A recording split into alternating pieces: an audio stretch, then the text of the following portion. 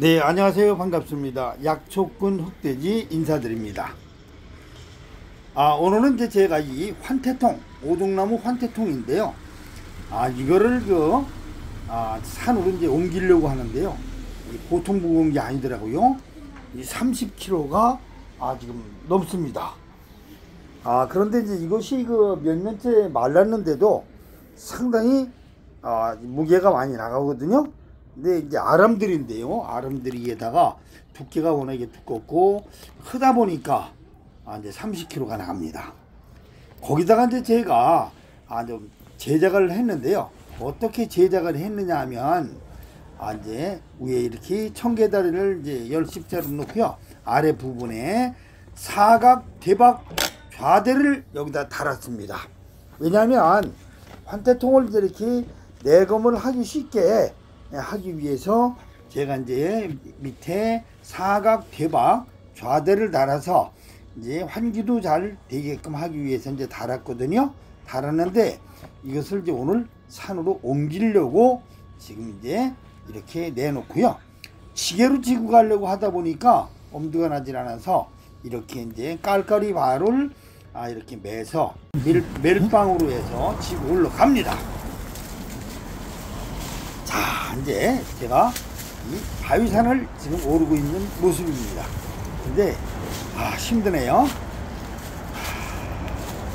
지금 이제 이렇게 앉아서 내과 개천을 따라서 지금 이제 산을 올라가고 있습니다. 지금 이제 산 여기 올라가는 곳은 바위가 상당히 많은 산이고요. 아 제가 아, 이제 여기서 설통을 갖다 놓아서 벌을 받아서 여기에 벌을 지금 관리하고 있는 곳이기도 합니다. 벌통이 몇 개 있고요. 그래서 제가 아, 올해 이제 옮기려고 하다가 옮기지 못해서 아, 이렇게 이제 설통을 준비하기 위해서 지금 산을 오르고 있습니다. 야, 이 고생을 해서 벌이 들어오면 다행인데 벌이 들어오지 않는다면 어떡하죠? 그런데 벌이 90% 이상 들어온다고 장담을 하고 지금 올라가고 있습니다. 왜냐하면 올라갈 때 벌이 들어오지 않는다는 생각을 하고 가게 되면 상당히 힘들거든요. 근데 벌이 들어올 것이라는 것을 생각하고 가다 보니까 상당히 아, 무거운 것이 사라지더라고요. 올라가고 있습니다. 야, 앞에 장애물이 왜 이렇게 많고 가랑잎은 많아가지고 미끄러운지 아 힘들다 힘들어.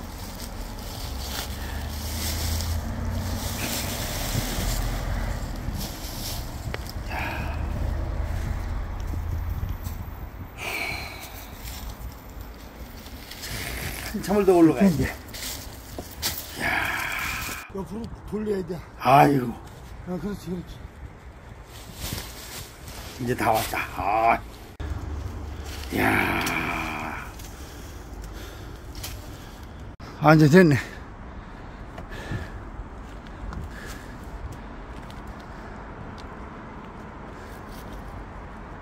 자, 이곳은 이제 제가 먼저 번에 아, 이렇게 이제 자리를 잡아놓고 간 자리거든요. 왜냐하면 이제 아, 이곳에 이제 그 위에 벌통에 벌이 이제 그 들어오는 자리인데요.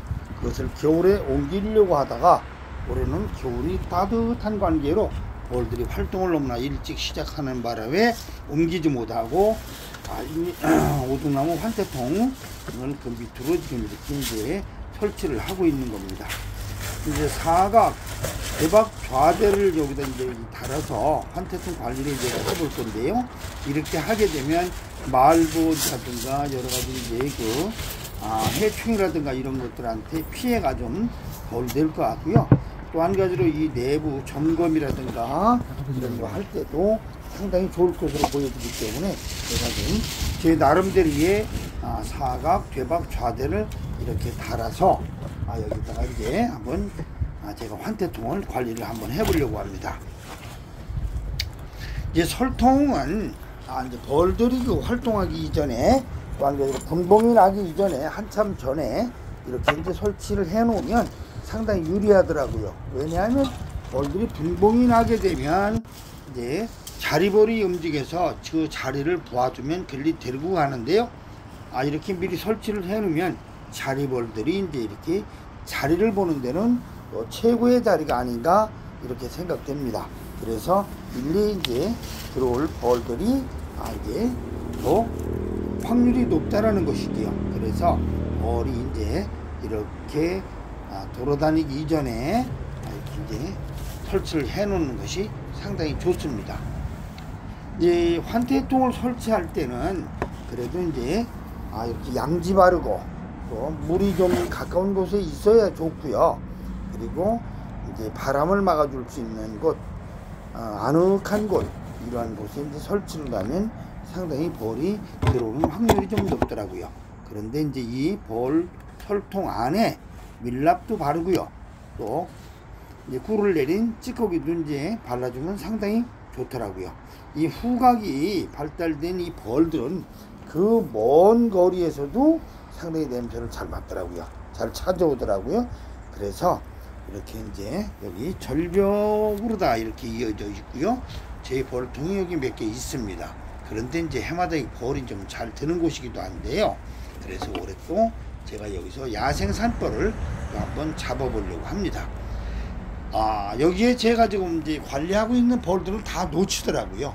왜냐하면 참나무 꼭대기에 앉고 이렇게 하다 보면 잡을 수가 없어서 다른 데로 다 놓치고요. 다른 데서 이렇게 오는 벌을 위인해서 제가 한번 설통에 받아보려고 이렇게 하고 있습니다. 여러분들께서도 한번 이제 야생 산벌, 토종벌을 한번 이렇게 관심이 있으신 분들께서는 지금 아 이제 요즘에 이렇게 설통을 준비를 하시는 것도 상당히 도움이 되고요. 또 한 가지로 너무 늦게 하는 것보다는 일찍 해놓고 이렇게 한번 해보시는 것도 상당히 예, 좋을 것으로 보여집니다. 오늘 제가 이제 그 이 무거운 환태통 아 이렇게 이제 설통을 지고 올라오면서 아 이렇게 여러분에게 오늘 소개를 해 드렸습니다. 예, 오늘 영상은 이제 이렇게 환태통 넣는 영상을 여기서 이제 마무리를 하고요. 다음에 더 좋은 영상 또 멋진 영상을 가지고 시청자 여러분 곁을 찾아뵙겠습니다.